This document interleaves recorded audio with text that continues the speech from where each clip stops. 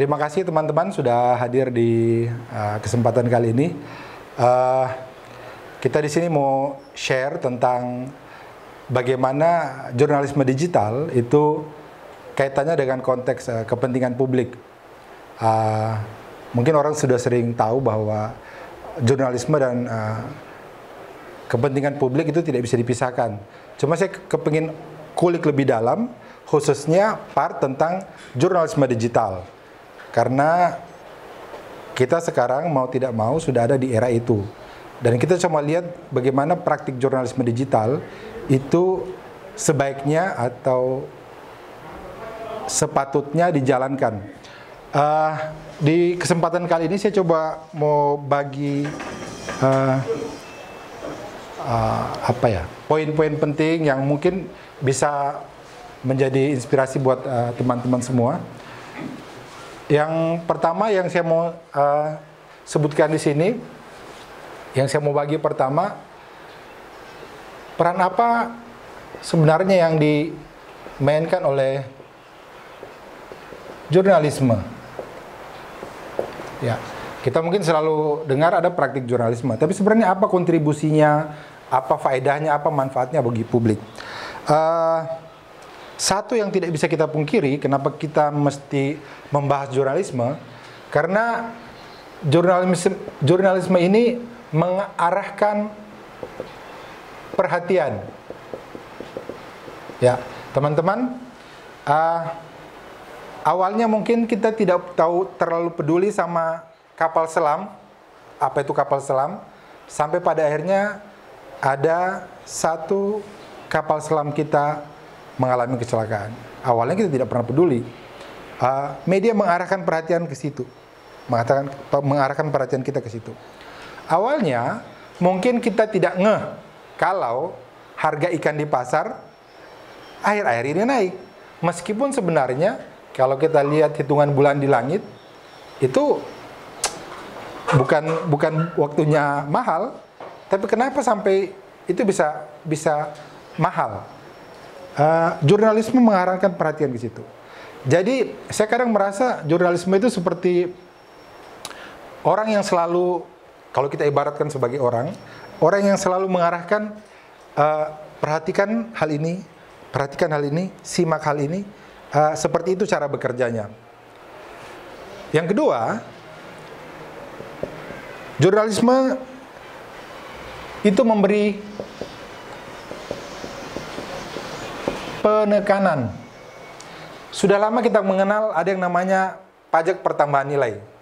Semua orang sudah tahu. Tetapi ketika sembako menjadi objek pajak, orang bertanya-tanya, ini pentingnya di mana? Semua pasti berdampak. Dan berulang kali media pemberitaan memberi artikulasi pada isu itu. Makanya dia menjadi penting untuk disimak. Jadi media memberi penekanan. Orang direkrut atau dipecat dari sebuah perusahaan mungkin dalam konteks tertentu itu sah-sah saja. Namanya juga dinamika perusahaan. Tapi ketika ada sejumlah orang yang awalnya bekerja dengan komitmen yang bagus di sebuah lembaga yang bernama KPK, tiba-tiba tidak bisa tercover hanya gara-gara sebuah model wawancara yang entah bagaimana wujudnya tiba-tiba itu menjadi menjadi uh, apa? Menjadi penyebab sampai mereka uh, tidak bisa muncul tidak bisa diterima kembali di kantor tersebut. Ya. Ini media memberi penekanan kepada kepada isu itu. Jadi setelah mengarahkan, mengarahkan perhatian, media memberi penekanan. Poin yang kedua, kenapa sampai sorry, poin yang ketiga, kenapa sampai jurnalisme itu menjadi sesuatu yang punya kontribusi dalam kehidupan sosial karena ini merekonstruksi rekonstruksi rekonstruksi oke okay. merekonstruksi realitas kita tidak berada di TKP ketika nauzubillah uh, sebuah mobil yang membawa uh, sejumlah mahasiswa mengalami kecelakaan tunggal dalam perjalanan menuju Bombana. Media merekonstruksi itu agar kita yang tidak ada di tempat bisa tahu, oh begini kejadiannya. Merekonstruksi. Bayangkan kalau tidak ada media yang merekonstruksi itu, kita tidak pernah tahu ini kejadiannya bagaimana, awalnya bagaimana, penyebabnya seperti apa, tidak tahu.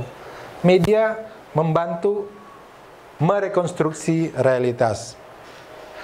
Peran-peran ini yang dimainkan oleh media. Berikutnya, dengan praktik jurnalisme,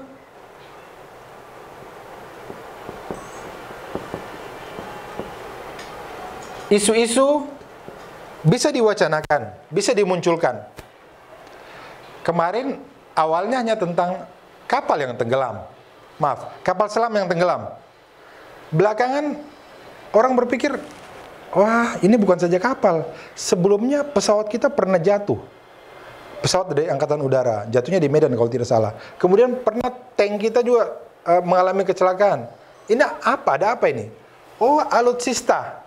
Akhirnya isu tentang alutsista diangkat, diwacanakan agar dia menjadi penting dan mendapat perhatian kembali lagi sini oleh uh, oleh uh, publik. Dan yang terakhir, ini tidak kalah pentingnya, jurnalisme itu memberi penilaian.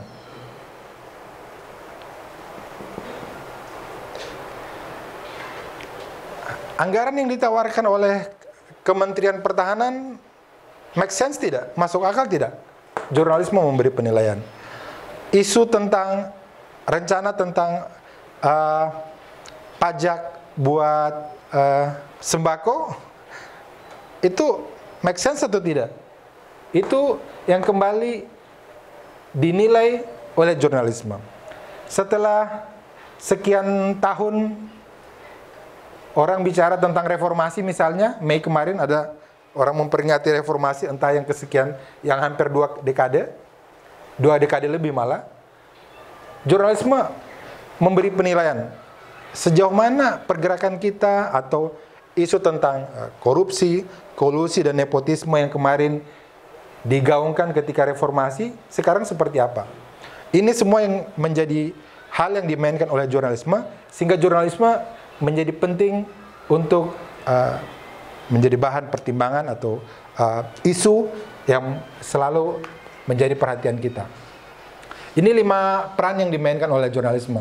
Dan uh, peran-peran uh, ini, teman-teman, tidak bisa jalan dengan sendirinya atau tidak bisa operate